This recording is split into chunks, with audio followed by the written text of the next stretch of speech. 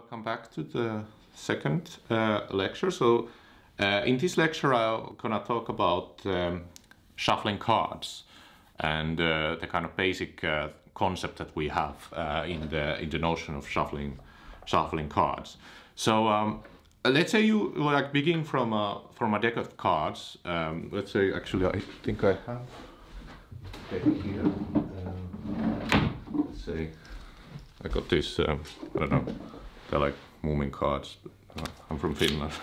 this is a, a topic, but uh, so we have. Um, what do we have? Uh, so we have this kind of deck of cards with uh, 52 cards. I've removed the Joker elements from this uh, from this deck, and uh, you could think about that. This is just a collection of basically. you could say that they are they're essentially um, at some order. So you, you, will, you could think about that uh, each card corresponds to some integer that uh, uh, that corresponds to like their location in the deck. So let me just uh, draw a little bit here. So this is like uh, shuffling cards.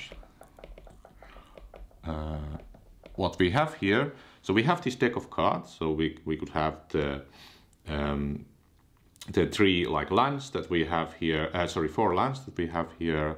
Uh, oh, I don't know, draw this. Uh, we have the here. Uh, need to, my drawing skills are not not perfect on this uh, these symbols, and then you have the space. Okay, so let me uh, add a little bit. Of, color to this. Uh, they would kind of.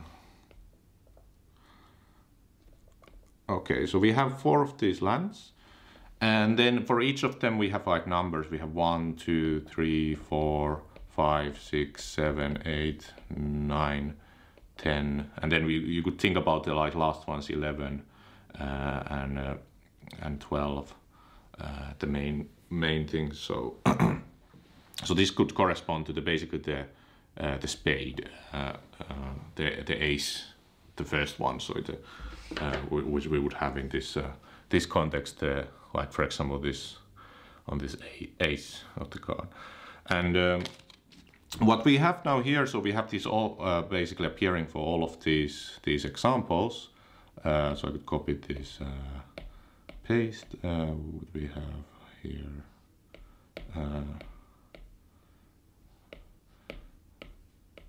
On all of these. Um, and then what we have here is um, uh, we could then say that this is uh, uh, and also I forgot this of course the the last one the the king uh, let me move this a little bit and then you have the So then you have uh, basically 13 different ones and then for all, of them you have four different lands so you end up to uh, uh, 52 cards. And uh, now what you could think about when you do this shuffling of the cards, um, you could think that all of them are allowing this initial position. So you could think about this would be like a state of the deck that they are all like in an order. So for example, in here in this picture, what I have the cards now here, they are like basically shuffled. So uh, these are now completely in some random order. But then initially when you open a new deck, they are in a like uh, order that is uh, given by basically uh, without uh, with this kind of order. Let's say in this order that I have it on the on on this picture. Then what you can do that when you shuffle, shuffle uh, um, puts them them into uh, let's say random order. So if you think about that this would be the initial order of the state, you, what you could happen here, let's say I'm using like this uh, uh, this plan. So for example, this could exchange the order with this one, uh, then this one could exchange the order with this one. I don't know. Um, there could be like uh, various like this could be like a shuffle uh, when you when you exchange the order, and that could be the new state of the deck, for example. It would be much complicated if you do like a riffle shuffle and other types of shuffles, but you basically end up to a really a random state of the deck by by a single shuffle. And this type of an operation, so if you like en enumerate this, like you could think about this as an enumerator. So we uh, enumerate the cards into, um, I think I, I use uh, into this 0, 1, 2, up to 51. So we enumerate them into this um, subsets of the integers. So this, uh, uh, or the natural number, uh, sorry, let's put the integers. Uh, that basically the first is this one. So here this would be the 0, this would be 1, 2, 3, all the way to this is 12, and then we have 13, 14, 15, and so on, and this would be 51. This enumeration that we would uh, we would like um, uh, like uh, try to do uh, using the enumeration, so on, so on, and 51. So that's the enumeration that we have for all these cards, and so on, and then you end up to here. Then if you do this like a shuffle, so you're changing the order of these things, you could think about you're basically permuting here. So uh, a shuffle is a permutation of 0, 1, 2, 51. So uh, that's the kind of uh, basic idea that when you're applying uh, a shuffle, so any permutation uh, to the deck, you get to another state of these these cards. So, um, and so you could say that the set of all shuffles uh, is this, um, which is called the symmetric group of 52 elements. So this is called uh, uh symmetric group of 52 elements. And this is basically just the set of sigma which are mappings from 0 1 all to 51 to 0 1 51 which is a permutation. So all the permutations that you have here. So remember what is a permutation, just to remind you, the permutation is a bijection. So any bijection between from 0, 1 to 51 to 0, 1 to 51 is, a, is, is called a permutation. So recall that uh, uh, permutation uh, is just a bijection. So this permutation of this uh, 0, 1 to 51 is a bijection of uh, so or bijection from 0, 1 to 51 to 0, 1 to 51. So that's the uh, what we would call um, uh, bijection or the permutation of this uh, this deck. Okay, so basically what you have here is now that the, the situation is the following, that uh, if you shuffle the deck, so if I take this deck of cards here, and I do uh, do like some kind of a shuffle. I don't know. I, am not really good at shuffling, but you could have I don't know this. Uh, you could cut it from the middle, for example, somewhere roughly in the middle, uh, and then what you could do is that then you could like interlace them. So let's see. I interlace them, so you can see them being kind of interlaced over here. And then I, okay, I do this Okay, I kind of interlaced them and got them kind of shuffled into a new state. So now I got a new state of the car, so it, it went into a new state. And that operation I just did was basically a permutation. So it was a bijection of these uh, uh, 0 to 50, uh, these 52 elements, and I shuffled it into a new order. That was called a riffle shuffle I just did basically here. So I got it somewhere in the middle, and then I tried to like interlace them um, with, uh, with, this, with this action. And uh, so now you could think about it if I continue to do this, or if I do it again, like let's say you are in a, uh, playing a game with your friends or something, just trying to like, I don't know, play something simple and uh, uh, and you can do it again. So you shuffle them again. Then what I just did here, this, is another riffle shuffle, was basically that I just uh, created um, a new state of the deck with two different permutations. Like, so think about it. So the previous shuffle I did with the riffle shuffle, it's it's not the same as the one I did now because there was some like fluctuation with the because it might be that I chose the cutting point slightly not exactly at the middle but also like when I interlace them I'm, I'm not very good at interlaces I'm not not interlace them exactly at the same place. So this was another I think this this was a most likely what I just did here was two different permutations it's like absolutely no way I could just repeat the same interlacing exactly at the same place so that it would be the same permutation so basically, uh, that's the like the feeling of random walks, how they appear here. When you are in a place and you're trying to like um, do some like shuffling the cards and you're trying to make it uh, shuffle, it actually turns out that this is the randomness of this kind of idea, the human error that kind of happens, that you're not exactly able to interlace them properly. That's the one that creates the randomness within the deck uh, of the cards. And then there are like two basic things. So let me like uh, give you the, this is on the lecture notes, so you will be able to see. So the, there's the example 1.1 on the lecture notes, which is this uh, so-called perfect uh, uh, riffle shuffle. Uh, that if for some reason you would be so good that you would be able to exactly split it at the very middle and you would be able to interlace them exactly on the same way every time to the way that they go on top of each other there's no errors or anything uh, then you can actually prove that if uh, uh, you can like formulate that kind of a permutation in the following formula so if you take this uh, uh, mapping sigma j and you just define it to be 2 times j when j is between 25 sorry, ooh, sorry, to, to erase that. Uh, 25 and then you want to have it 2j minus 51 uh, when you are between uh, uh these 51. So this is like now a mapping uh, from 0, 1, well actually I could just, uh, this is a permutation of 52 elements that, that that's bijectively maps two points.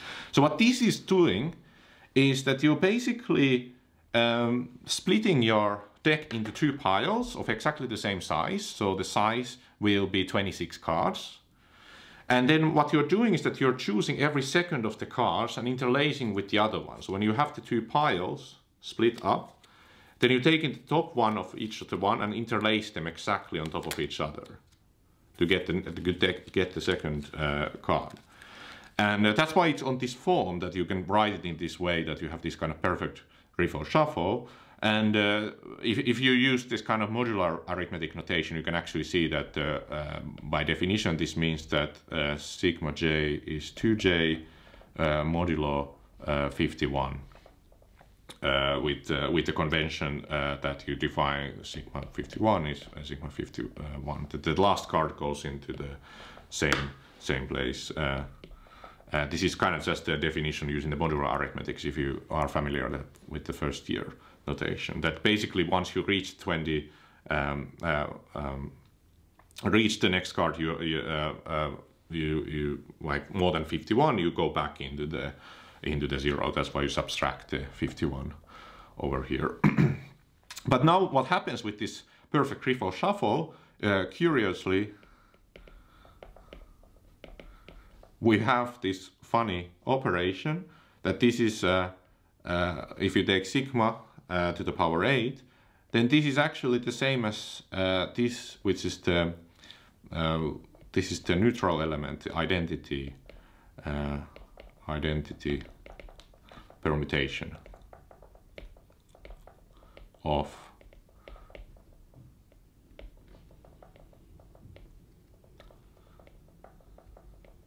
So this is the identity permutation of sigma 51. So that's the one that basically just doesn't do anything. So this is like the identity shuffle that I don't shuffle at all. Uh, this was um, in the lecture you can see the proof. Uh, this was done in theorem uh, 1.2 you can have a look at that. Uh, I'm not gonna go through it in this uh, lecture now, but you can. Uh, it's quite well written on the kind of detailed there. But you can see that basically what this means that when you take eight of these perfect shuffles, so you're doing it eight times exactly, and you interlace them exactly perfectly eight times, you will end up to the same state of the deck as you started from. So that's kind of like um, if you're too good at shuffling, if you're exactly like perfect with shuffling, you won't be able to shuffle the deck properly. I mean, what happens when you do the interlacing looks like it's getting to a random state. It looks like it starts to look like really like a random state of the deck. But actually, what happens is that it will just go back into the original state. So um, there's a YouTube video I linked on the lecture notes. Uh, you could have a look at that. There's some guy actually is able to do that. So he's able to do it like eight times and you can see that he shows the deck goes back to the original state. Uh, but the proof mathematically is given theorem 1.2.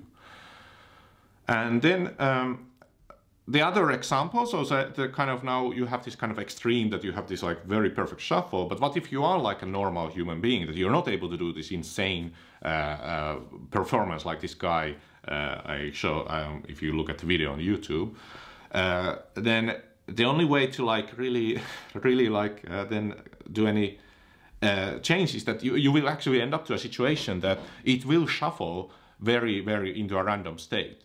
So what what kind of the philosophically speaking, when you're like want to convince to a friend of you, you're like playing a game with each other and you want to convince that it's shuffled enough, then as long as you're not perfect with shuffling, then there is a, there is like a result of um, I think this was done by um, uh, um, Diaconis and Shahshahani, that, who prove that using like this like natural human like shuffling they like there's there's like a way of like um, basically modeling how humans typically shuffle in a normal situation when they do these like riffle shuffles.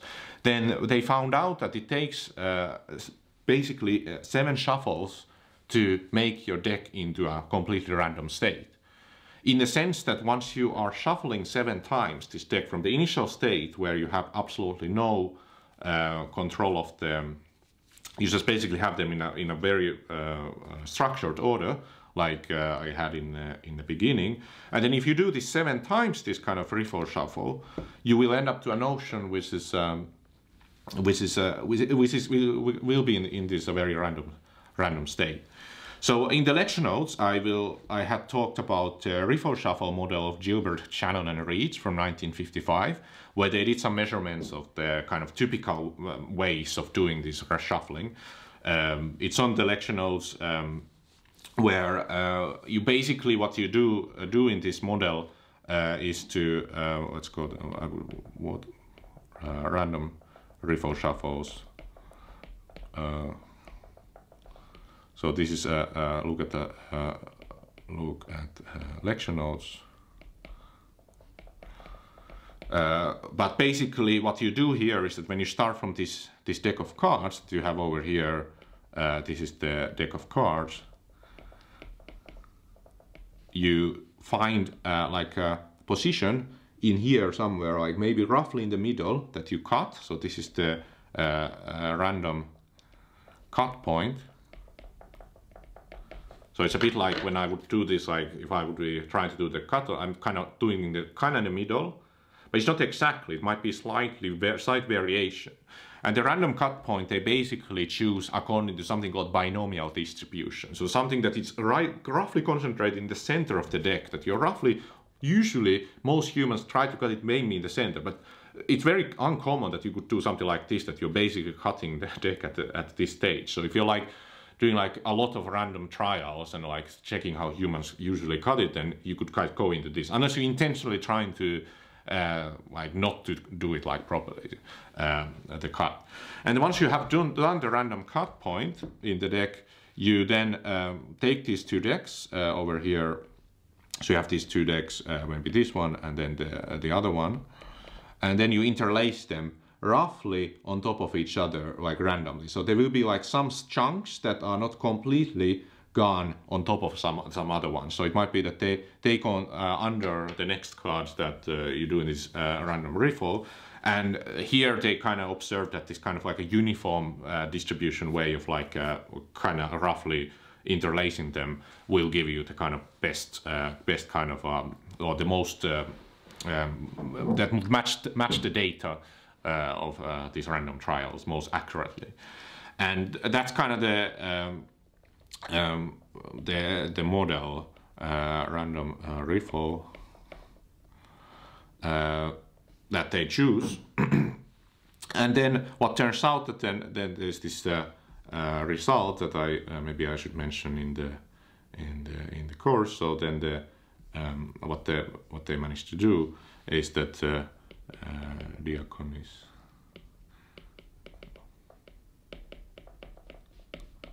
shall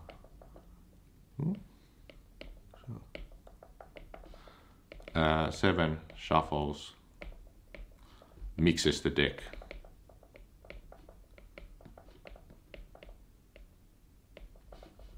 Um, and uh, what happens actually, the, uh, kind of the thing that uh, uh also what happens, not just that, but also that uh, uh, less than than seven shuffles, uh, the deck is uh, is still um, still very ordered. So if you don't do seven shuffles, if you do like six or five shuffles, then the deck with high probability will still be roughly uh, very close to the kind of um, similar state that you started from. So like really not too like um, uh, random state. But the problem is, of course, is that how do you formalize this kind of theorem? What do you, what do you mean by it like mixes the deck that it starts to look very random? And what does it mean that it still looks quite ordered? And for that purpose, we have all these like tools in the course. We will talk about information, entropy, mixing, and these notions to like really quantify this uh, this theory. And at the very end of the course, I will talk about the kind of uh, how the in the card shuffles you kind of can quantify this uh, this mixing and uh, and ordering. So uh, that's kind of kind of the uh, main part of the topic about shuffling, and. Um, and I hope you got something out of these ideas. And there's much more in the in the lecture notes. I, I will talk about something called Borel shuffles and overhand shuffles and other random transposition shuffles, which are other types of shuffling techniques other than the riffle shuffle. And uh, you can have a look at like their models that they uh, they define in in these uh, in these examples.